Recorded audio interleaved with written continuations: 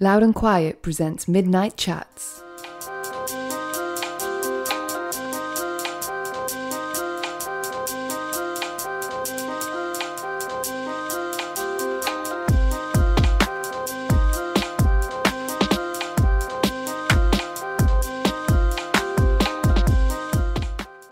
No bullshit. Those were the first two words that came to mind when I was thinking about tonight's guest on Midnight Chats. That's how I describe her, and I mean that as the highest possible compliment. Someone who says exactly how she feels. Last week, I met up with Shirley Manson. Just the night before, the Garbage Frontwoman had been presented with the Icon Award at this year's VO5 NME Awards, and that's exactly what she is an icon, and she's been doing her iconic thing for three decades now. On stage at the ceremony in London, Jenny Beth from Savages gave her the statue, and to be honest, I couldn't put it any better than she did on the evening. Shirley Manson, she said, is a woman with grace and strength through every stage of her life and career, who taught me that I know that I can do and be whoever I want. The next day, before she stepped on a plane to travel back to her home in Los Angeles, we recorded this conversation. And we got into a lot, um, more than any other midnight chat I can remember. Apart from the awards night, we spoke about her recollections of meeting Marquis Smith from The Fall, who recently passed away. She does a great impression of him, by the way. The lack of opportunities uh, for and the coverage of women in music, particularly older women in music. The Me Too campaign and the current global conversation around gender inequality and just how much more has to be done on that front. Being a British citizen living in Donald Trump's America as well. And a lot of other stuff too. I should also say this is a special one for me. This year, 2018, Garbage will celebrate the 20th anniversary of their album Version 2.0. And that's got great memories for me. I didn't mention this when I met up with Shirley, but my first ever gig was Garbage at Wembley Arena when they were touring that album. I went with my big brother and his mate. My parents dropped us off and waited around the corner in the local TGI Fridays. And I remember the gig being amazing, um, exceptionally loud. And and I've been to a lot of shows since, but I'll definitely never forget that one. So a real hero of mine on this episode of the podcast, an artist who's passionate, fearless, and inspiring. This is Shirley Manson on Midnight Chats.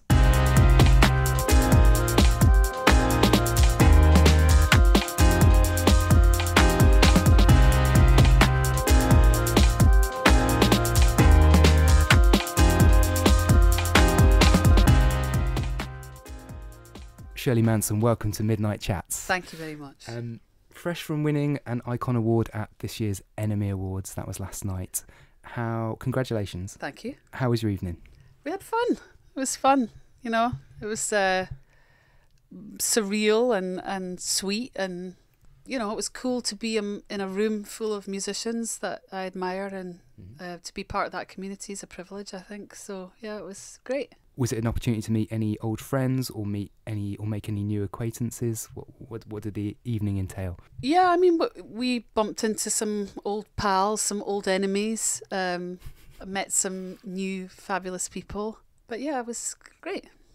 Jenny Beth from Savages presented you with your award. I thought her words were fantastic. Yeah, you and me both. Yeah, um, it's one of those things, isn't it? What's the feeling like when you're sat at the table, you're about to pick up an award, and somebody who no doubt you're a fan of and, and you admire um, says something incredibly heartfelt uh, about you personally, and you're just, were you kind of like, you know, were you like, oh, stop being so nice? What was, what was going through your mind just before you walked up to grab the award? I don't know. I mean, I love Jenny Beth. I've had the pleasure of being on her podcast before, so we've spoken, although we, I'd never actually met her Mm. in the flesh. But I love her band, Savages, and I think she's extraordinary. And so, yeah, to hear her speak like that was m- moving. I was really moved by it, you know, because I could tell it was sincere. And I think that's what was so lovely about it for me and my family. And, you know, my brother in law was crying and it was really sweet.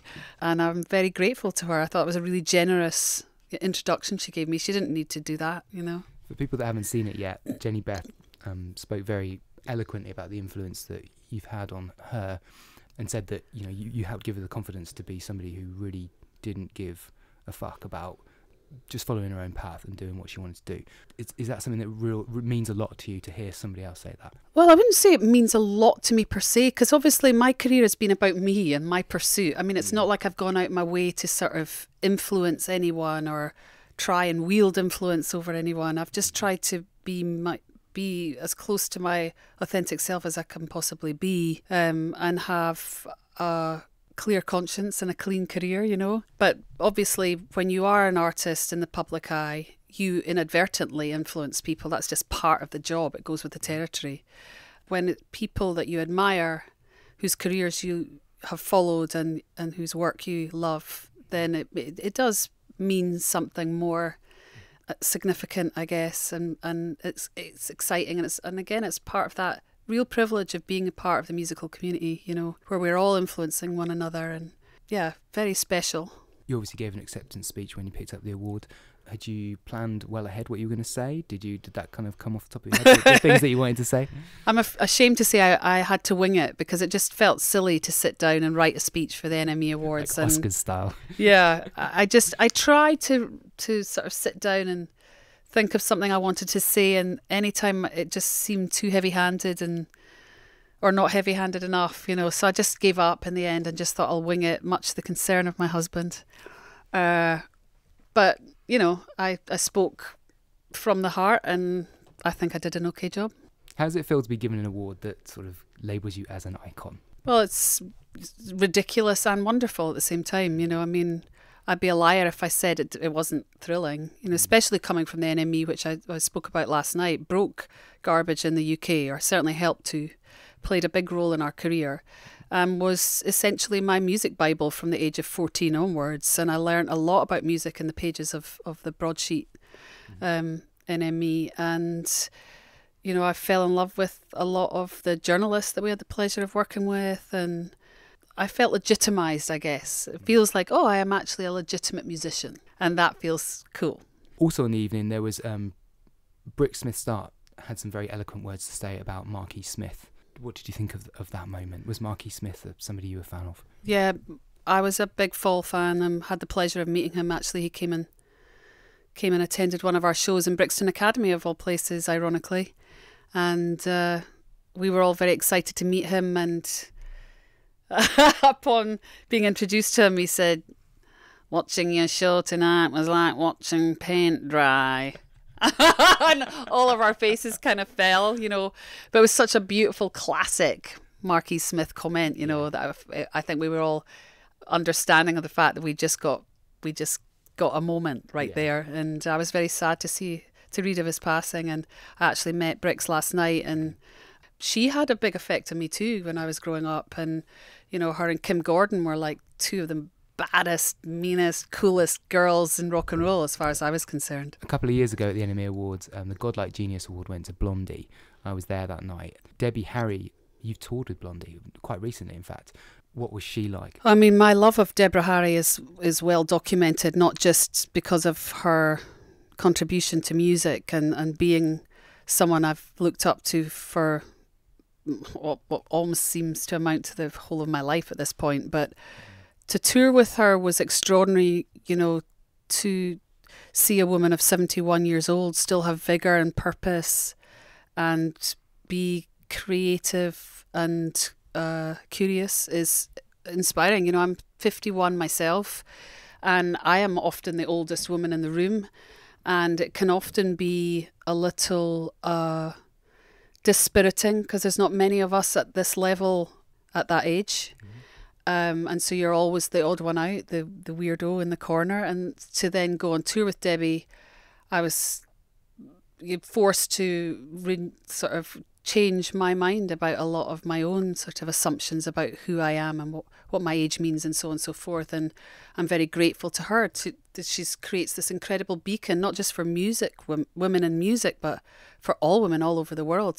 She's standing up saying you can still have agency at 71. That's a mm. powerful message. Mm-hmm. And it's not a message we really had, have received up until this point. You know, it's still very, very rare for women over 50 to ever be covered by any news media outlet, you know. And so she's really creating a template as we speak, you know, for all, and and showing us the possibilities. And I'm very grateful to her for that, you know. And I have a lot of love in my heart for her because she's she's not just incredible; she's really kind and generous, and she makes room for everybody in in her you know orbit. And not many stars do that at that level. Have you thought about how long you'd like to continue making music? And that, did, it make, did that make you think, hey, yeah, I could definitely be still touring with Garbage when I'm in my seventies? Well, yes and no. You know, I mean, that's that's what I was saying. It changes your perspective when you, you. I mean, I've said this so much this week, but you can become what you see. If you don't see any representation of yourself out there, I think you feel a little disengaged. But when you see someone like her, of course, that changes your perspective. It's like, oh, I can do this, I, and if I want to, I will representation has been obviously a big topic, certainly around award ceremonies in the arts this year, this last couple of years, but particularly kind of hot topic at the moment, given what's just happened at the Grammys and the head of the Grammys and his comments. Was it important to when you're offered an award like the Icon Award at the NME Awards to accept it? Was that part of your you know reasoning for wanting to go? Yeah, definitely, I'll be there. I'll I'll accept that award. Yeah, I, because I mean, you look back at history, not just in music, but in all aspects of our culture. Women have had a hard time being remembered. They're, they do not play a large role in the narrative at all. It's almost as though they didn't exist, you know. I believe that that has to change, and I, I feel like by accepting certain awards or accolades, you are forcing the narrative to cover women. And I believe in that strongly, you know, because I I feel it inspires other women. They see the possibilities for them. And so, yeah, I, I believe that women, when given the opportunity, should um, accept any accolades coming their way. But, you know, it's all individual choice, but that's what I believe in. We get to see, I think, a really powerful speech or kind of comment from from a man using that platform to kind of to support, for example, the Me Too movement, uh, or certainly that I've seen. Perhaps it has happened, but um, that's something that important. That's something that's important that needs to happen, isn't it? Uh, yeah, I mean, again, uh, there's a lot of uh, disagreement amongst women about this, but I personally believe that this is not actually a female topic. This is a male topic mm-hmm. that women are choosing to speak out on but the midden is male. Like, I mean, there's just no doubt about it. You look at the statistics, you hear women testify. This is a male issue. And how do we tackle that? And the fact that most males are not actually engaging in any sympathetic, empathetic, sensitive, thoughtful fashion surprises me and disappoints me. Um, it's almost as though men think, well, this is just an entirely female topic. I'm staying out of it, and this is not my problem. Well, actually, no, this really is a, it's a male problem, and it's one in three women are suffering at the hands of male aggression. One in seven men. That's a crazy statistic. And what are we going to do about it as as a, as not just a nation, as a globe? This is a bizarre, systemic, institutionalized horror story, and it amazes me that men are just choosing to look away. it's been had plenty of coverage. The comments from um, the, the, head of the, the Grammys following this year's awards, or rather just before this year's awards, and the controversy around that. The Brit Awards have this year have decided to give out the White Rose to like everybody that's coming along to this year's awards to show support for the Me Too movement. There's been a lot of debate the last kind of like 24 hours since they announced that because every man that sat on a table at the Brit Awards this year is going to get given one of these things, and it feels like possibly it should be if they want to show support, they should actually be getting off their backsides and doing that via their own volition, not because somebody's just handed their one. What do you think about that? I mean, I would tend to agree that it seems a little pointless. Anyone can shove a white rose on their jacket. It doesn't speak to who they are, what they are, what they believe in, how they conduct themselves in their you know in their lives. I mean, I think we all saw that with the Golden Globes. There was a bunch of men, men wearing Times Up pins, and then literally 24 hours later were were revealed as as uh, you know predators or or men who are not treating women particularly well. Mm-hmm. So I guess yeah, I want to see action now at this point. I think I think we know we have all the evidence we need now. Now it requires action, but the actions, unfortunately, are complicated and complex, and I don't know where we begin. I mean, it really requires a very serious analysis by governments all over the world mm. with regards to how do we re educate young boys and young women? Mm. How do we re educate our children mm. so that this this stops? We'll never stop it entirely because there are pred- there are sexual predators out there in the world and I, I don't think any form of education will ever necessarily change that but the, we can definitely minimize and the sort of bizarre casual touching and assaulting of, of women it's funny because i was thinking the other day you know as human beings we are powerful and we're taught children are powerless and we respect that that sort of equation generally speaking adults and uh, obviously there's always horrifying abnormalities to any story, but in general, adults respect the powerlessness of children and they attend to that and they protect children. And men are generally physically stronger than women and they have to be educated to respect that dynamic, that equation. And at this point, I don't think any effort has been put into teaching men how to control themselves, how to accept a refusal. Uh, yeah, it's complicated, man. It's, I don't have any of the answers. I just want it to stop. Yeah, I, I, I agree. I think there's um there's a lot to be done when it comes to education, and you, and you immediately think of what can be done in in order to make that stop from the generation that's about to begin. But I think there's also a responsibility on the generation absolutely right now. All uh, all, all all levels. I think there's there's action that can be taken. Of course, but um, whether it will be is open to debate. You know, I mean, that it's a, such a big problem too with regards to how governments currently view our societies. You know, when money becomes king, people become nothing. And when people are nothing, they don't put in any money into education. And we just sort of fall into this endless pit of, you know, economics and poverty and excess and it's just it's and and I and uh, to me I think if I was if I was a president of a government I would want to encourage more and more money being put into education education is so key and yet money you know everybody only cares about money and profit and of course you can't you can't have profit in education education isn't about profit mm-hmm and it never will be. And so, I mean, I look at the American government; they put less and less money into education every day. It's astounding. Mm. You know, half they're like one of the most powerful nations, richest nations in the world, and their and their their education system is falling behind some less well developed countries. You know, it's just bizarre. And ultimately, if you have an uneducated populace, your whole world is going to go down the toilet really fast. Certainly doesn't feel very um, forward thinking. No. um, also, how has it felt? You're a resident in the US. There's obviously been unarguably a lot of regressive stuff going on in the US given the current president.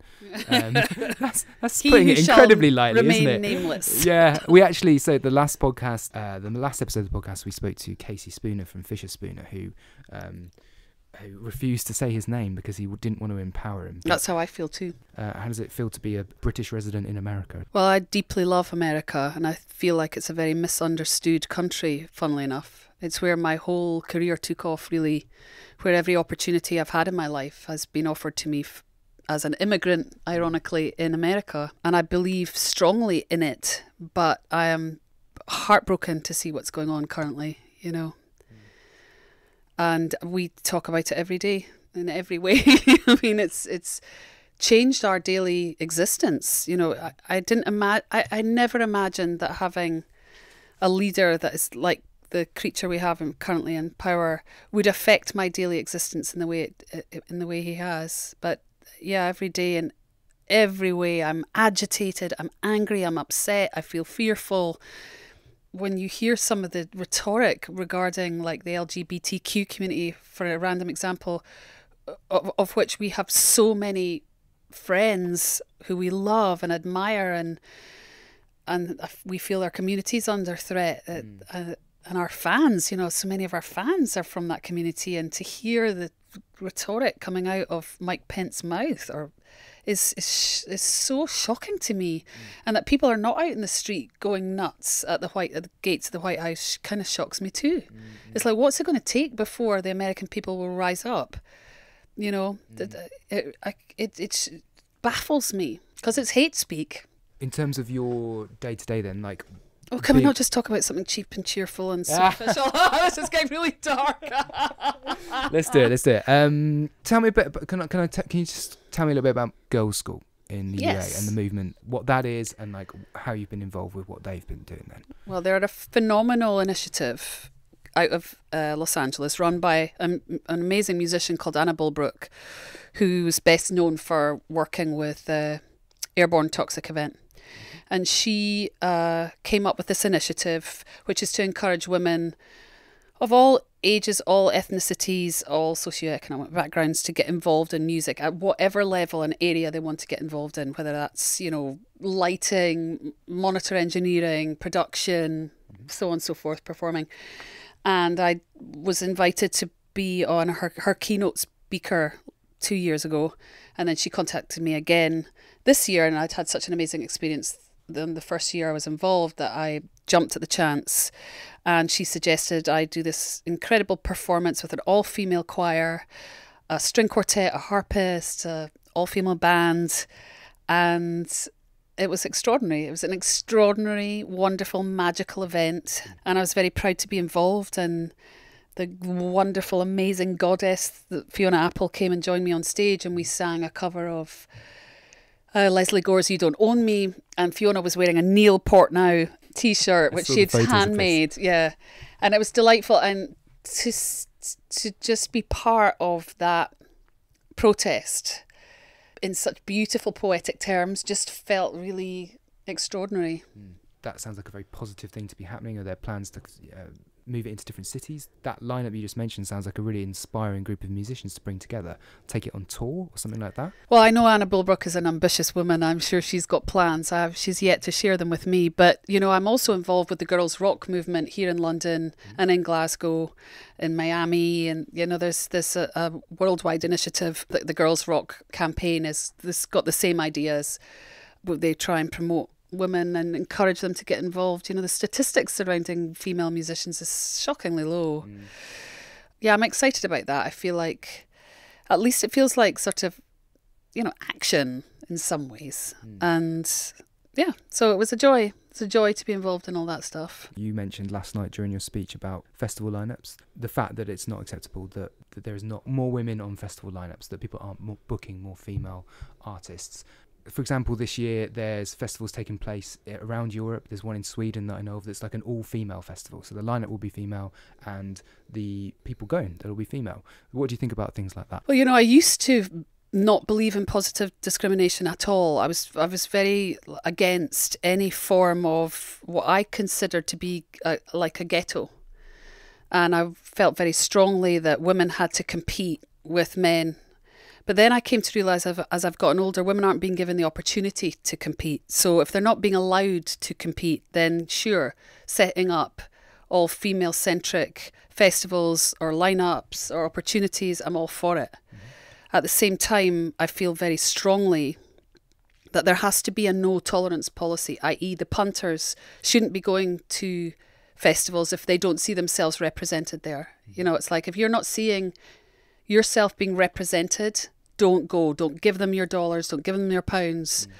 Boycott it because until you do that, they're just going to keep going along in their easy, breezy, patriarchal ways, mm-hmm. and nothing's ever going to change. You know. So, yeah, I've, I, I, I'm, I'm sort of torn, but I, as I've gotten older, as I've said, I'm, I'm for positive discrimination. It's the only way we can force their hand. I went to MIA's Meltdown Festival last year. It was fantastic. It was full of incredible female artists, including Maya herself. You're involved with the Sundance Festival this year, mm-hmm. um, and you've seen the MIA documentary. I have, yeah. Are you a fan of hers? Huge fan. And what did you make of the, the, documentary? I love the documentary. I mean, I usually if I'm a fan of an artist and then I go and see a documentary, I can often be a little disappointed or bummed out. I loved her more than I did before, which I do think is a good sign. I mean, I just thought she was, I think she's spectacular on, on so many fronts. Phenomenal filmmaker, by the way. Mm. Like, really, a, she's the an incredible video maker, like mm. crazy good. And also has her own authentic, genuinely original voice in music and that's rare and then and then she's got this delightful sparkling personality she has something to say she's passionate and she seems like a good person you know it's like she's trying to put something good out there as opposed to something negative and uh, no i couldn't love her more i find her very inspiring Is that amongst the best um, documentaries that have focused on an artist that you've ever seen? Do you think? no i wouldn't go that far i mean i think I, I i i always want more you know i mean dig to me is like maybe the best music documentary of all time but there i also thought um, the metallica gods and monsters was So a piece of genius. I mean there's so many great mm. documentaries and then it depends what you're looking for yeah? Mm. But i think they did a good job in that they portrayed her in a very positive light. I i would have preferred more music you know focus but you know hey that's just me being mm. fussy as usual. Would you ever do the Shirley Manson documentary or the Garbage documentary film or write a book or any of those type of things? I don't know. I always say never say never, you know, like you just never know. I never thought in a million years we'd ever put out a coffee table book and we did. And it was, you know, very satisfying, I have to say, when when the, the whole thing was said and done. So, yeah, I never say no. I just think you should always keep your options open. But am I working on a fucking documentary on myself right now? No, I'm not. and do I have any plans to anytime soon? No, absolutely not. Okay. Uh, I, I, for one, would like to see it. Um, you're celebrating 20 years of version 2.0. Are you going to perform that album in its entirety, Yeah. basically? Is Yeah. that the plan? That is the plan, and we're pretty excited about it. We had such a great time on the first record's anniversary, 20th anniversary. We, we didn't realise how much joy we'd get out of it. Some of the songs we hadn't even even listened to since we put them out in '95, you know. So it was kind of uh, exploratory exercise, and and we loved it, and the fans loved it. We had such a blast. And so, yeah, I think we're all like pretty excited about taking version 2.0 out on the road. Um, it's not a very long tour. We're just doing maybe eight weeks in total, which for us is really short. Um, this year is mostly about writing. That's what we're supposed to be doing.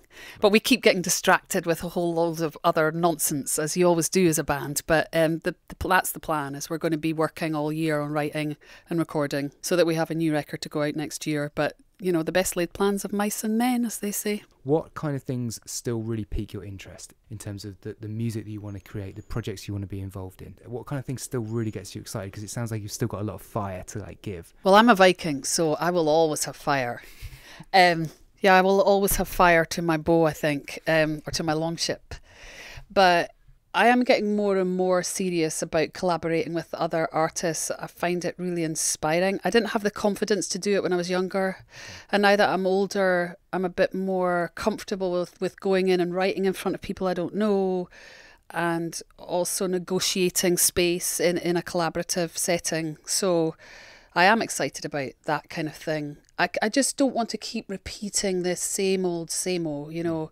I really am getting more and more interested in sonics and how to do stuff that you haven't ever done before. It's uncomfortable, but that to me is exciting. Mm-hmm. And and then I bore my band rel- religiously at the moment about what I call high stakes, i.e., look, we're not young. We've never been young, but we're even less young now. What is it that we need to say and what is it we want to say? If we died, you know, in a year, what have we left on the plate, you know? Mm. So that's to me exciting because I like having restrictions. I feel like you can be really creative when you have really narrow confines in a funny way. And I feel like that to me is something I want to explore. My high stakes, whatever that may be, whatever it is for my band, I find that an interesting challenge. To how to talk about the things nobody really wants to talk about.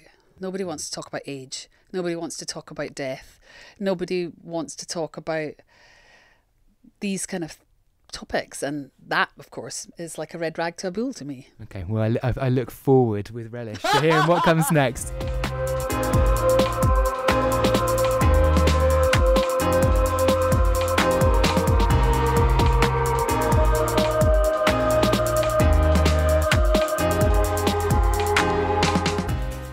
Midnight Chats is a loud and quiet podcast. Production by Emma Snook. Music courtesy of Gold Panda. Search Midnight Chats on iTunes for more episodes and to subscribe. For more information, visit loudandquiet.com.